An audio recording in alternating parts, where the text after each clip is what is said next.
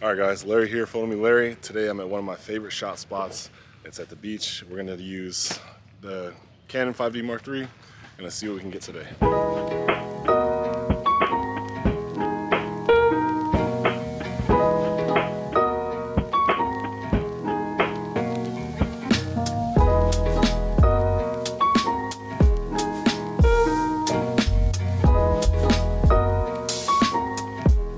Okay, so this is one of my favorite shots to shoot. I always come to the same bench, it's usually always open.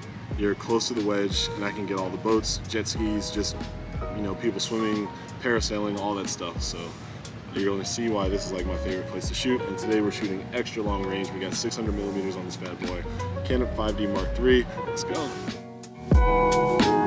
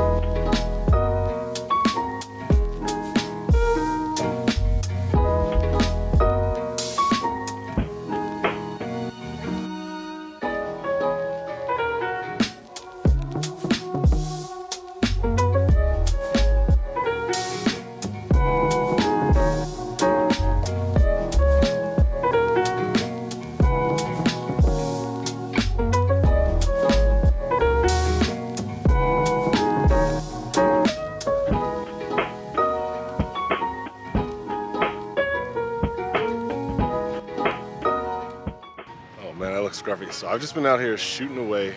I think I'm maybe 40 shots in. So far, jet skis, boats.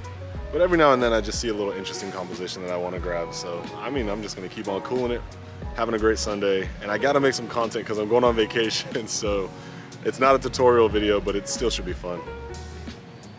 And after a long day of shooting, uh, it's nighttime now. I'm finally back home. Everything was great.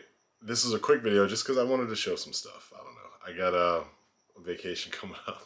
So, point camera, have fun. Peace. Hope you guys take care. Thanks for watching. Thanks for being a part of what I do. Hopefully, you saw something that you like and it makes you want to subscribe. If not, you know, uh, I promise you the next video will. All right. Bye, guys.